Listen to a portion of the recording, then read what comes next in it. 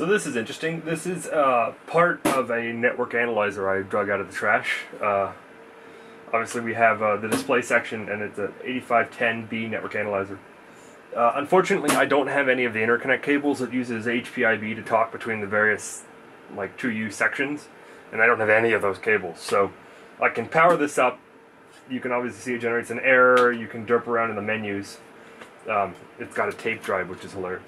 This powers up but all the only thing I can do with it is notice that these two lights turn on. Um, so, uh, one thing I can do is that this is extremely heavy, so I'm pretty confident there's a lot of crap in there. Um, you know, I, it should be lots of fun RF black magic. So we can poke around with the display, which is fun if nothing else.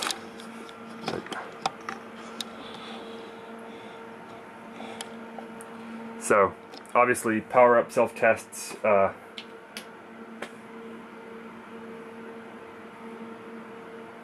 apparently it's testing its EEPROM maybe. So interestingly enough this doesn't actually appear to have a uh,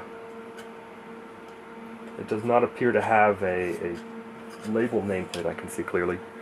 Also interestingly enough the uh, the display section the power switch for this is on the back um, I don't know what I just did. I just somehow reset it. Um, so obviously you can see it's saying it can't talk to the IF detector, mostly because there's no cables. This is not connected to anything.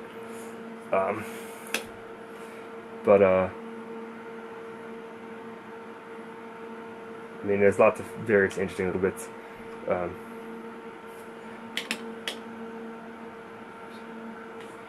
processor RAM test.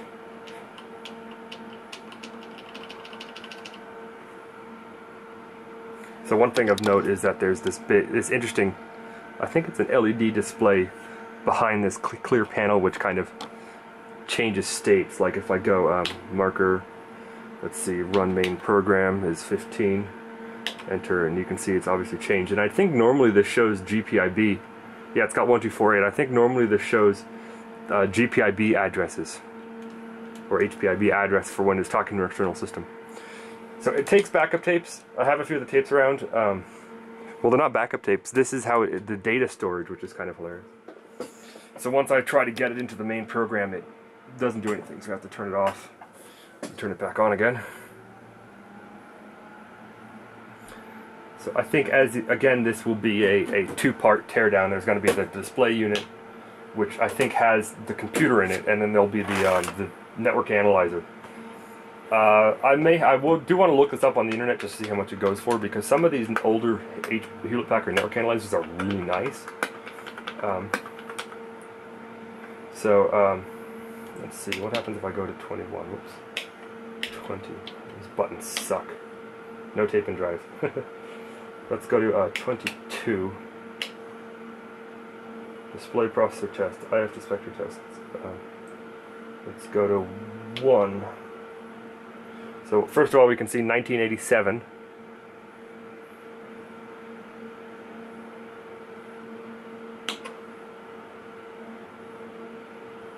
Display sections board, let's go to test pattern. Oh, that's cool. Um, oh hey look you can plot the screen. So this is apparently like what the display looks like. That's quite a cool little um, it's a pretty cool little vector display and obviously you can see it's doing text and it has a whole bunch of symbols to, to, plot, to return to menu push marker um, dot with line pattern.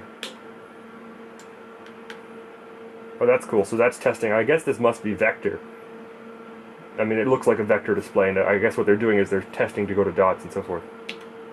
Marker. Uh, let's see. Six. So the focusing is obviously these things here. Uh, seven.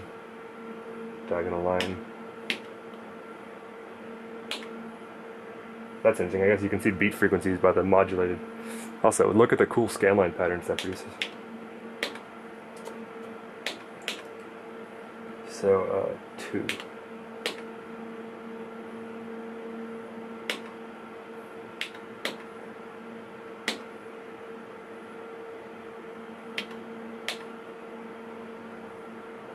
That's cool. So it's just got a lot of neat looking test patterns. Um, let's see, I want, where is F? D, C, B, A, F, there it is.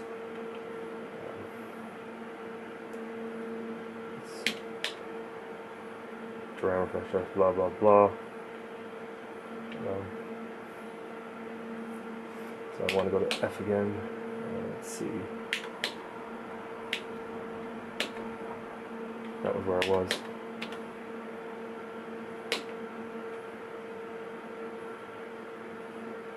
That's interesting. I don't have the password.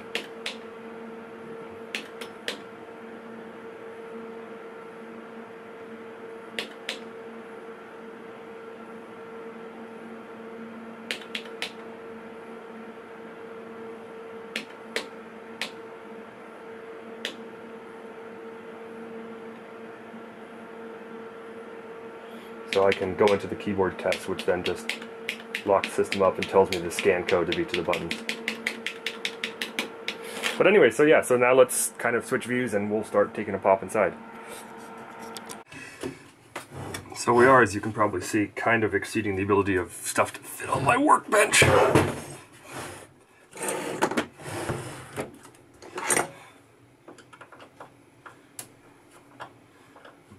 So you can also see it's got this big fan on the back, which um, I, I, guess they didn't have space in the case for it, so they just hung it out the back. I've seen a few like uh, Hewlett-Packard devices do that sort of thing. It's weird. Oh, this is an 85101B, incidentally, display processor. Ooh. So now we have interestingness. So this is the well, that's cute. It's a little cover. So it looks like, look down there, there's a whole bunch of uh, big metal can transistors and cards. Processor, I bet. MC6802, yeah. it's all dusty. Man, look at this little row of lint that's gathered on these dip switches just because the airflow is this direction. That's hilarious. Um, Normally these things are extraordinarily well designed. Okay, yeah, actually it looks like this one is too. So I suspect if I loosen those kit connectors, this whole board or apparatus will pull out. Because if you see down there, this is actually an alignment pin.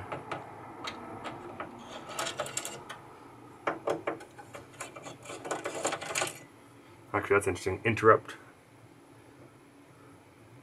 LFRE, or uh, L free run, halt, reset, um, it's got lots of little interesting. There's a, a prom, or EEPROM, a UV EEPROM. You can also see here's the tape drive. Oh,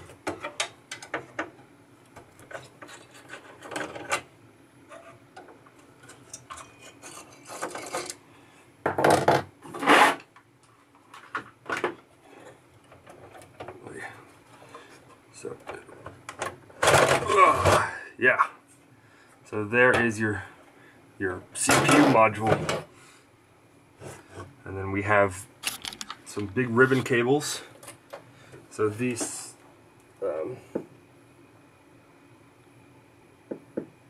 8510. So there's a special connector over here for the 8510 analyzer, and then that is a, a uh, IF display interconnect, which is a DB25. And then the general purpose HPIB interface is over here. Here's the fan.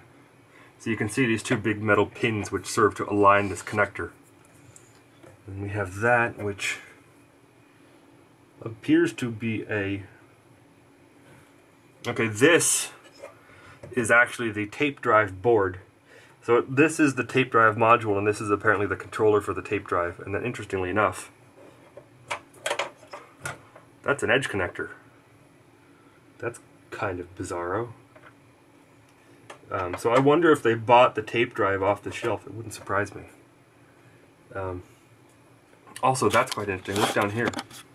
So this is, I believe, a PCB, like a test array.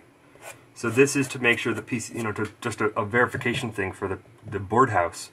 So they, I guess they measure resistance between these two points and you know these various points, and if they see a connection, they know that the board was you know produced improperly. Just because uh, you know these you'd expect them to be isolated, assuming the board is fully etched, and you know I guess there's no over etch protection there; it's just under etch. So one thing I like is these are all these really nice latching connectors. Actually, this is really cool. Look at these. They have a should, should just fill over. They've got these little ears here, and you pinch those, and it ejects it. So they're like designed to be easy eject. That's a really cool connector. I like those a lot. I wonder where I can buy them. Anyways, let me put this aside. Oh, Jesus, shit's heavy. So, CPU box. So, uh, this is obviously just a back plane. You can see there's one end. Interestingly enough, the other end also has a the opposite gender connector, so I wonder if these can be stacked. Um, so, processor display gen A15IO, A13 MBM. Test con is just this three pin connector here. Looks like this is um, this may be some sort of power as well there. That's interesting. Look at these little tabs up there. I wonder what those indicate. It's all gold plated, which is beautiful. Let's see, how does this... It looks... So there's only four cards in here. I think that goes like that. Yeah, look at that. Man, that's like a beautifully engineered card cage. Use the ejector ears assuming they're not too stuck.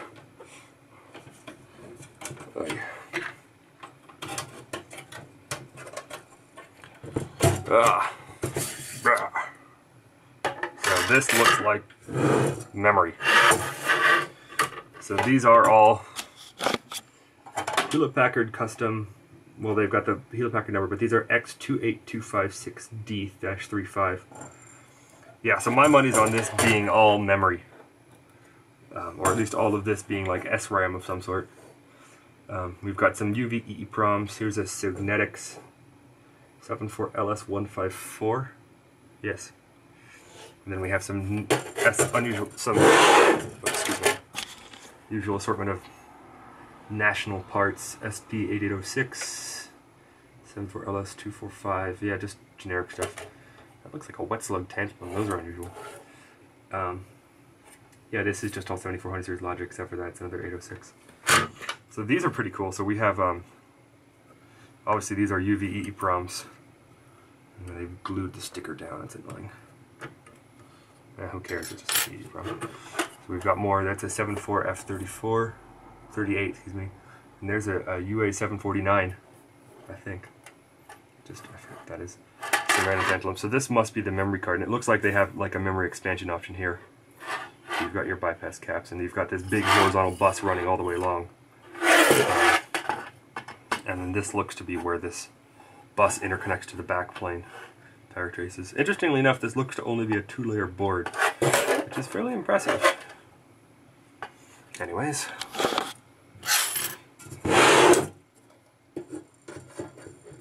Putting this in the wrong way? No, I'm not. Let's go up.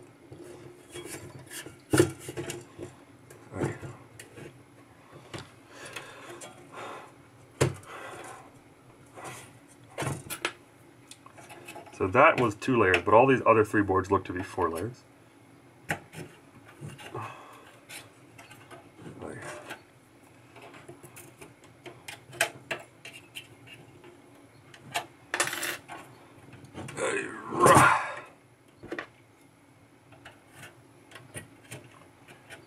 one thing I will say is these have been in here long enough to be really, really impressively well stuck. It's free. Ooh. That's fun. We already have like a Bizarro special purpose IC. C5061. So that, um, what was this? Oh wow. this was labeled the, uh, this is the A15IO board. Incidentally, if you look down in there, There's no solder mask on this side of the board. It's just straight up gold plated. So you can see. Oh yeah. I have manual focus override. See, that's just straight gold plated traces. So here is a rather interesting board. We've got your our esoteric uh, hybrid type thing here. We saw it poked through the board. Looks like it's that's quite interesting. These are just gold-plated holes. It looks like it's just held onto the board at just pressure. Actually, let's get my nut drivers.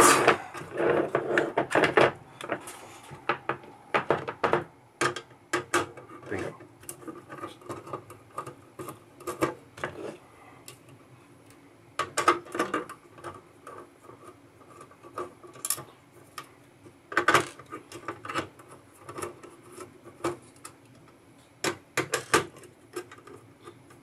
Just get this.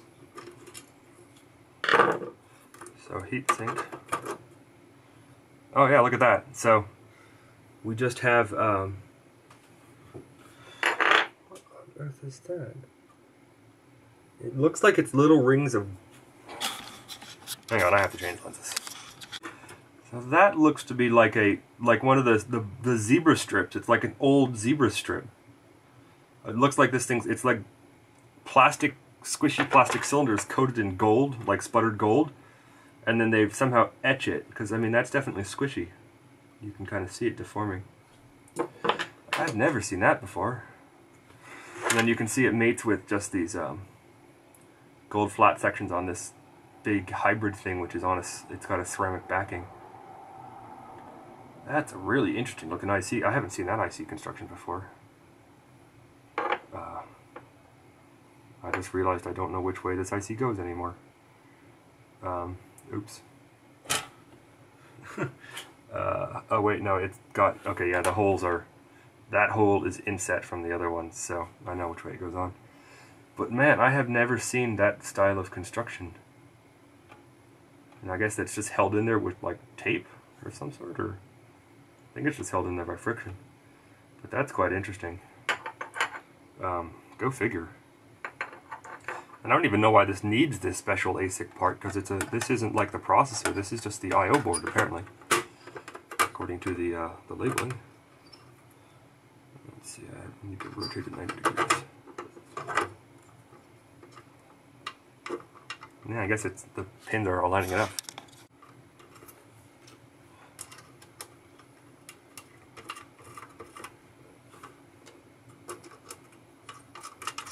Got a little bit of wibbly wobbly, but I think the interpin spacing is sufficient to deal with that. Oh yeah.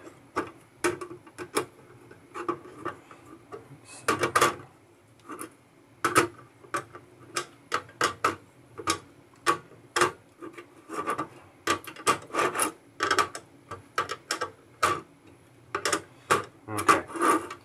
Anyways, continuing on, we have lots of various logic. Um, I don't know what those are. They look like they may just be power transistors. Well, they're marked. That one's marked U.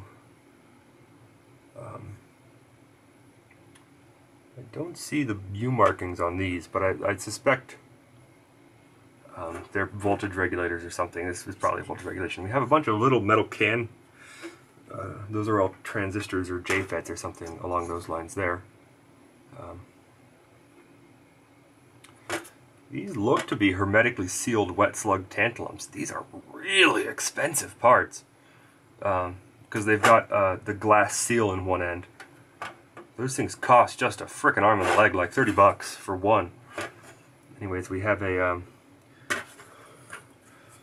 D8729-5 S4117 uh, made by Intel with an it's got a, it's an L830 excuse me 8030536 it's probably like an, an IO type thing um, P8454 space uh, 5S2016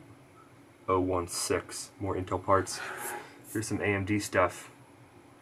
84 8746DP 1982 so that's 8746DP 1982 wow this is pretty old 7400 series, 7400 series, 7400 series. Um, this is interesting. These are CERDIPs 8736DM, 8625DM. Here are more Intel parts. These are 81, excuse me, 8291A. So D8291A, S52009, uh, L8100347. Intel parts. Here's some national semi parts. Um, S open parenthesis P8748. I have no idea what that is. I've never even seen a parenthesis in a part number before. Uh, weird. Um, here's a Signetics part. Um, FEC5567. That looks to be about everything of interest on this one. Uh, uh, Tantalum Monster 74 series. Uh, these are national SP 8806. I bet a lot of this is custom stuff for HP. TI, or excuse me, National used to do a lot of that. Got some big chunky resistors up here. Carbon comp resistors, nevertheless, too. Go figure. Um, weird.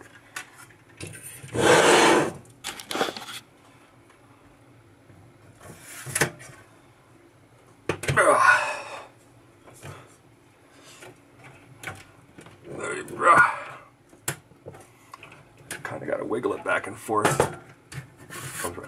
Figured this out. So this is the display generator.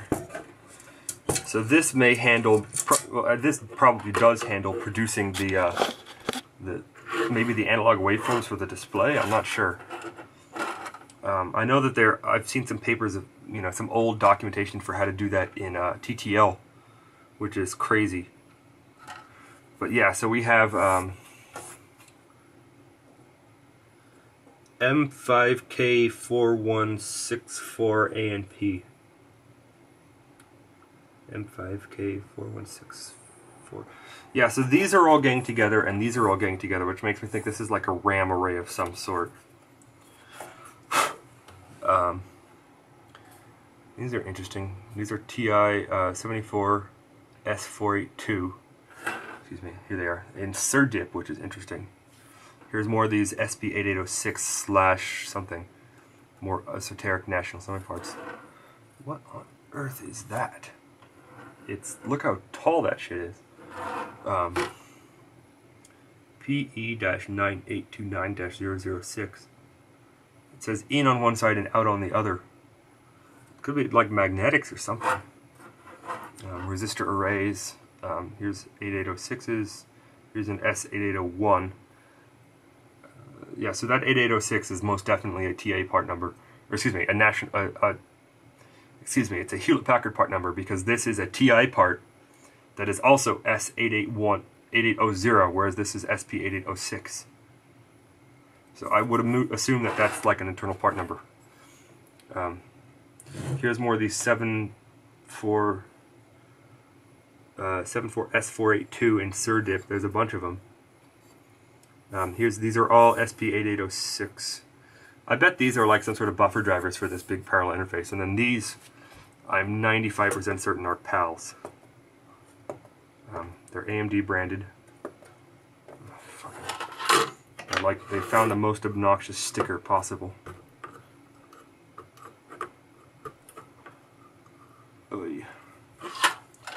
So that is a um, unbranded. It's well, it's it's AMD branded, but it's got it's got 8744DM and then a Hewlett Packard part number on it. But from the fact that they have stickers on them, it generally means they're programmed in some manner, which means it's almost definitely a PAL. I've got a few odd mint capacitors here, but other than that, this is all digital.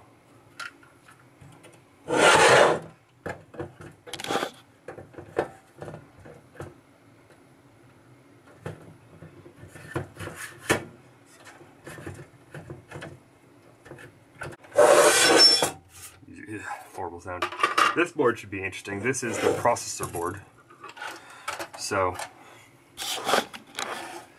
first thing of interest is down here we have a Motorola MC68020, 68020. So that's a, a 6800 series microprocessor. So this is probably the main CPU. Um, interestingly enough, I'm just realizing there's the clock crystal. It's a 16 megahertz crystal, but it's at the complete opposite end of the board. Go figure. Um, so lots of various stuff here. These are um, M5 M44256AP. So I would bet that this is like local memory for the processor. Because um, it's approximate and it's on the same thing and it's got 256 in the title. That's marked U41, but it's a SIP package. Which looks like it's, it feels like it's been epoxy filled in from the top. I don't have any idea what that is. This is fairly interesting. Here's a bunch of LEDs marked self-test. These are old style LEDs too. Um, here's an, uh, a UV EEPROM. TC571000D-20. And then we have these two devices here, which I can see are labeled PAL, so I'm not even going to bother with the sticker. This must be this the same. So we have some programmable array logics here, probably just for glue. This is quite interesting. Look at this. Start, stop, clock, ground, um, interrupt with an yellow LED. This is clock, and this is LD something something CK. Here's LD SACK 0 and LD SACK 1. Apparently it has to load the SAC. Um, so it's interesting that some of these programmable devices, like these programmable devices, are soldered straight into the board, whereas these devices are socketed. Here's more interesting part numbers. Equal sign B8806. The only thing I can think of is they must have been like, you know what, we have, a, here's an ASCII table, let's just go across the ASCII table and use those on all of our part numbers. Your raster engraver can handle ASCII, right? And they're like, okay. or your screen printing mechanism. So this 8806, because I mean, look over here, we have another um, 8806, SP8806, so it looks like the prefix. This is equal sign B8806, whereas this is SP8806. Weirdness. Um, more specialty. These are AMD branded 7400 series, 7400 series, 7400 series, 7400 series, 7400 series, big 7400 series. And that's about it. So I guess that's everything they needed and some resistor arrays and lots of interesting test points. Diodes. There was another row of test points. Here they are. So this, what we have here is um, SA3, TP5, ST, ground, um, all sorts of weirdness. This is interesting. We have a little loop test point here, and yet over here we have another loop test point that only uses a single pad. Uh, go figure. Um, maybe these are like jumpers you can hook around. I don't know how. I, I, have some clip-on current probes from the same time, you know, time, and they're not. There's no way in hell they could fit through that little tiny loop. In fact, I don't even know if anything modern. Well, I'm sure something modern can. But this board is. Um, it's definitely multiple layers, but I can't make out how many. That's interesting. There's our, our clock PROC. And there's LG, LCLOK, excuse me. There's clock probe. And here's LCLOK. so that's the L clock. Um, and then that's uh, unmarked. Interesting test points. And as usual, the backside's empty, though here's how many pins that micro has. Oh yeah.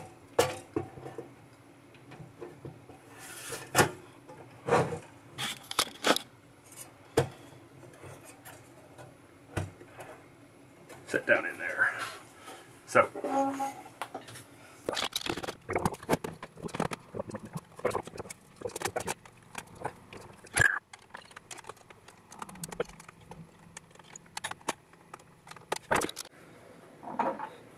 So here we are, obviously, um, here's the high voltage supply. You can see the output right there. Um, various oddments here. 18 kilovolts. Um, do not remove this cover when power is on. So there's some sort of focusing thing.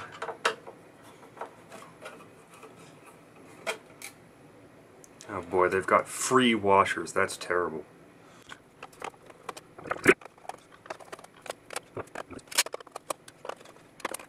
Man, they sure do love their edge cards, don't they? Everything in here has a freaking edge card connector on it. I mean, look.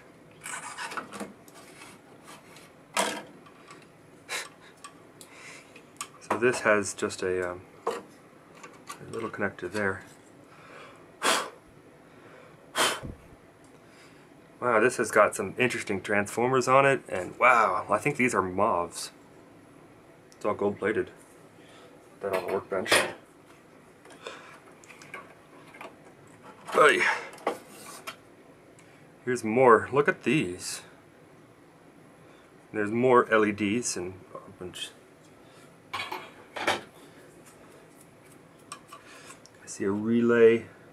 There's a transformer on a circuit. Oh wow, look at that. That's so here we're just looking a little closer. Look down in here. This is quite interesting.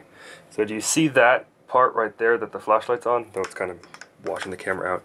That appears to be an SCR. I can't change the focus. I mean, that's a, it looks like it's a big SCR mounted into a giant chunk of metal, which then appears to just be PC mounted. Also interesting, look, there's a transformer sitting on a little gold circuit board, which is then bolted into the system. Also relevant, um, get rid of the flashlight. This is a choke, and we have two big diodes with some big resistors on them. Uh, over here we have oops, high voltage flyback, there's a voltage multiplier, and um, let me disconnect the camera. So, we have, uh, you know, so there's your high voltage step-up transformer, and then down in there you can see there's some some big capacitors, and those smaller diameter things are actually uh, like long high voltage many mega ohm dischargers, uh, discharge resistors, I believe. So there's also like a relay down there, which is kind of interesting. You can see there's that SCR and a bunch of radial electro electrolytics. There's some big caps down there for the power supply of some somewhere. I actually don't know entirely where the power supply for this thing is. I don't see it anywhere. There is the uh, the tape drive readouts. So I suspect yeah, that's interesting. So look down there, we have Y amplo, and then that would be X. So I suspect that this uses electrostatic deflection, and that these are our two, um, these are our, our X and Y amplifiers. And oh yeah, look at that, they have these little flip of tabs.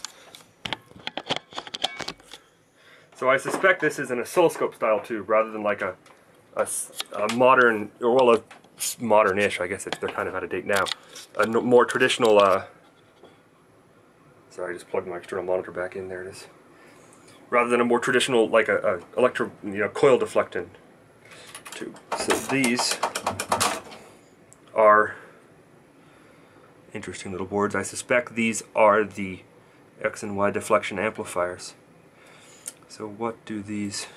Uh, so these appear to have connectors. I'm going to just pull one out for the moment just so that I can look at it. This is quite cool. Look at this nice um, this nice uh, you know grabby loop that you just kind of rotates around. So also down in here we have uh, whatever this stuff is.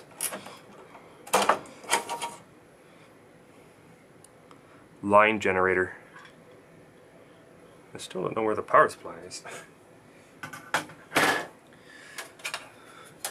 and then this, oops, it's another one of these things with this wonderful flip out pull tab. This is a um, it isn't labeled, but it's got ortho, pattern, Astig, HF gain, focus gain, int limit, int gain. So this looks to be you know involved in focusing for the uh, the CRT. Where is the power supply? I don't even see a power transformer. That is... Huh. Well, that's bizarre. Could I just be blind somehow?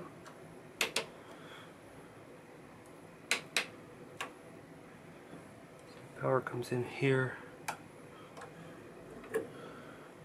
It might be down in there. It doesn't seem to. I think the power supply may be down in here, and it just needs a really small power. it's got all this logic. It needs a fair amount of power. Uh, the only thing I can think of is that this power supply mounted down in here this one down there, that may be the power transformer for the whole system. It seems a little unlikely, but I don't see any other power transformers. Anyways, moving on.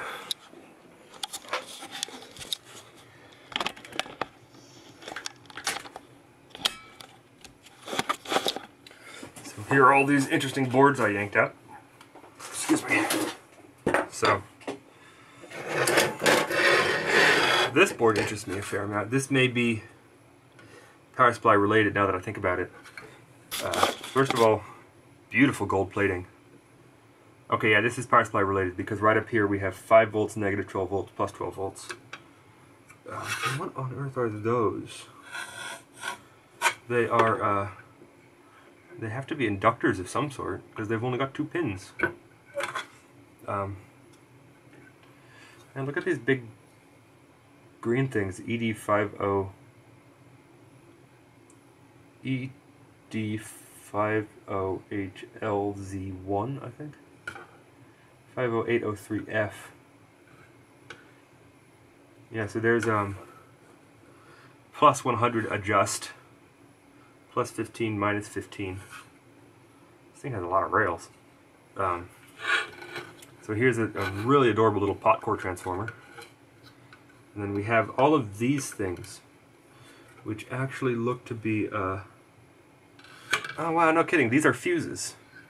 So if you look down in there, there's an extremely fine line between the two. These are bus fuses. Um, you can see down there, bus 6MW.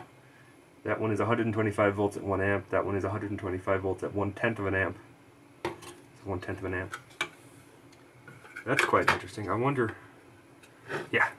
So they're even done properly. So you can see these are just little pull-out fuses in the power supply.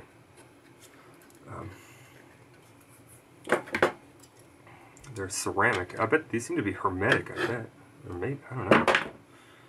Yeah, so this is 6MW, that's a 2 amp fuse, and then there's a little tiny lead in there. That's very hard to see. Lots of electrolytics, some big, some big film caps. Um, EC30HL31 don't know much about that. Here's another one of these little fuses. You can see all these charm these charmingly old school LEDs. Um, they just gold plated the whole thing and they didn't use a silk, which is kind of interesting. Well, there's oh wait, there's a silk screen on, or excuse me, solder mask on the back. That's kind of amazing. So yeah, this is definitely power supply related. Um, though that's interesting. This is a capacitor with one terminal on one end. They're all that way. One terminal on this end, two terminals on that end. So that is um, 390 mic 0 to 40 volt DC. I don't know if this is two separate 340 mic. There's another fuse. caps are just one. Um, interestingly enough, the only two there's only two active components on here. There's this, which is a um, that's a 74 LS14, which is just a logic gate, and this is a uh, wow, that's RCA branded H501 but it's got uh, eight legs. Eight legs. It doesn't have any other branding on it. It's got RCA, N501, and then the Hewlett Packard part number. See here our, our big TO devices. That is a an 8438. That is another 843, and I bet these are power transistors. That is a, uh, a national part. It is a colon H508. Oh, Christ them and their bizarro part numbers. Have any idea what that is. But yeah, it looks like there's a little, some sort of DC to DC on here, I guess, just from that little pot core thing. Runs down to this fuse. Anyways. So this, I'm pretty confident, is like the X or Y deflection amplifier for the uh, grid. So you can see here we have position, um, there's gain, and HF gain, and then we have E1 and E2. No real, I don't see any description terms, but you can see that this uses all canned. There's a poly, uh, excuse me, a mica, mi multiple mica caps. These are expensive caps. Um, there's a little um, shielded tuned inductor. And then we have some high power, high precision resistors. There's another one of those things. This is quite the board. So we have a whole bunch of, all of these devices are, so this is a 2N3251. Let's see what that one, that is a 2N3251. That is a 2N3251. Looks like a lot of these are 2N3251s. Um, this is another Bizarro. This is a National Semi Canned IC colon slash H eight five four five two. No, excuse me, eight colon slash H, as in Harry, eight four five two. Weird ass part numbers. I'm surprised I don't see any PNP devices here, though I may just not be seeing them.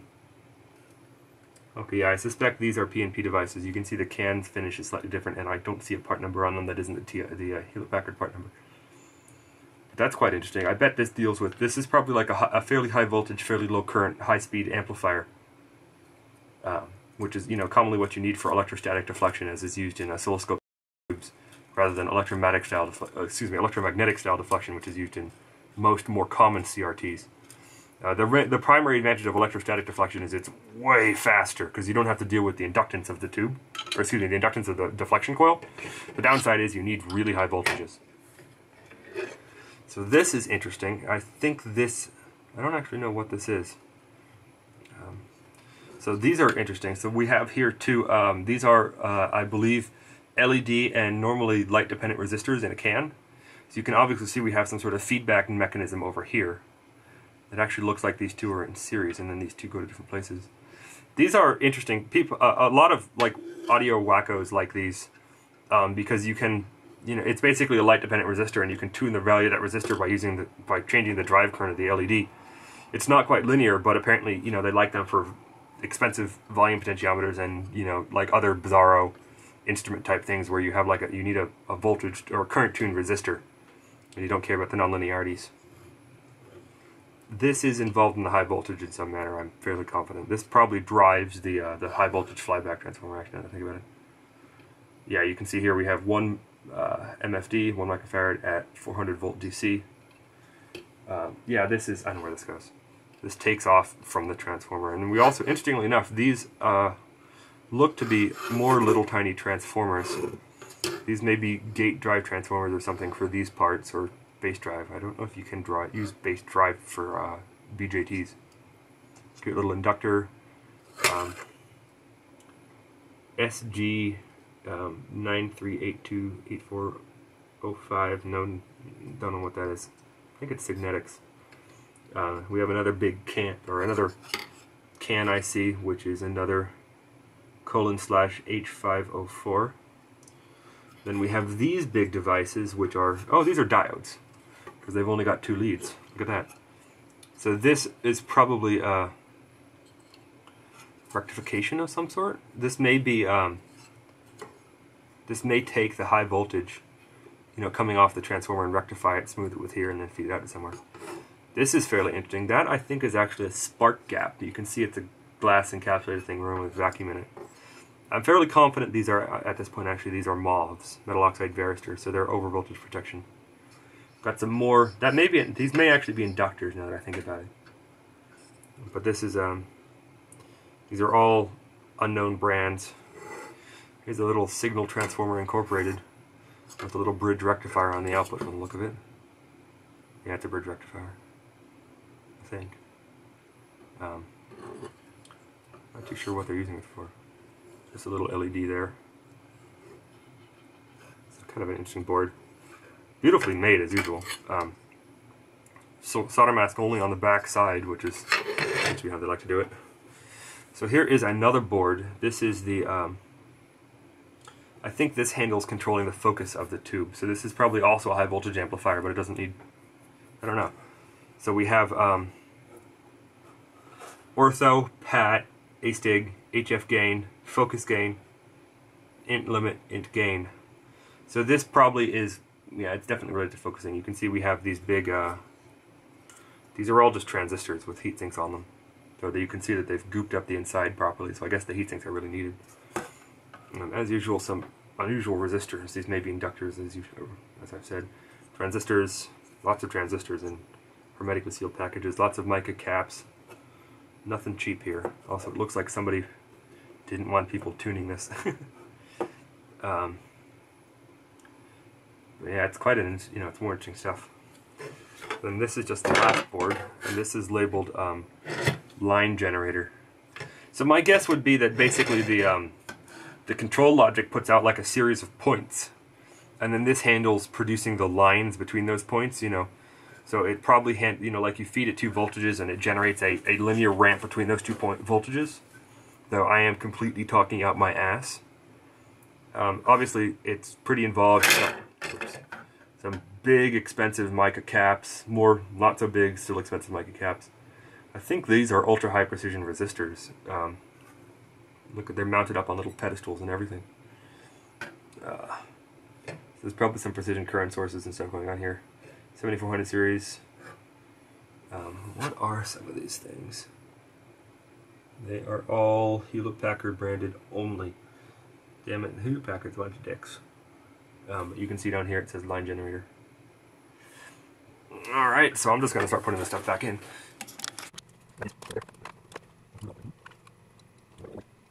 Seriously, one thing I did to mention is they've got these little um, like spacer oval things to keep the leads spaced apart. Oh, that's quite nice. It looks like every card is a discrete length. So you, it, it would take a lot more effort to plug cards in in the wrong place than one would otherwise, you know, it would otherwise.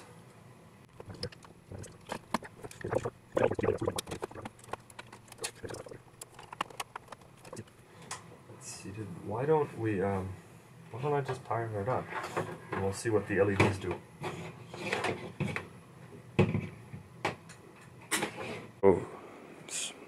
So I'm expressly violating the instructions by leaving the covers off, but why do they have LEDs in there if you can't power it up with the covers off? Anyways. Light. More lights. Hey, look, all of our rails are up. Oh, hey. Did that fan spin up?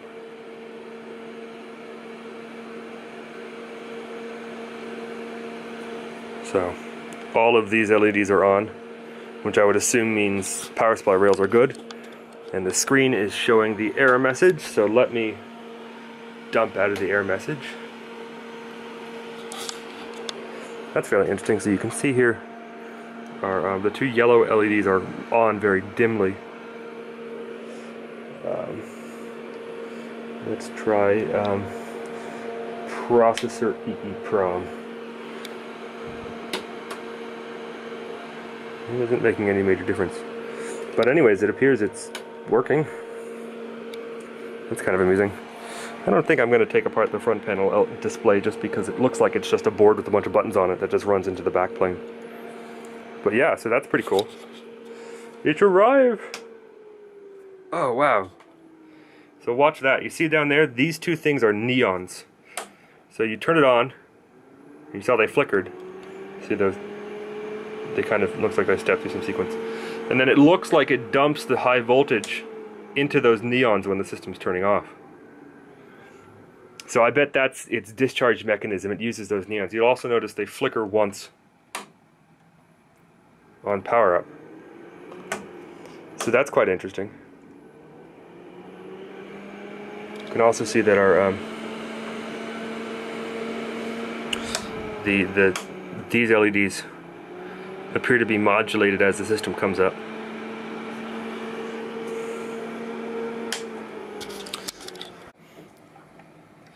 So actually it turns out I was complaining about the LEDs not being visible, but it turns out that these holes are not for adjustment. They're actually for the LEDs.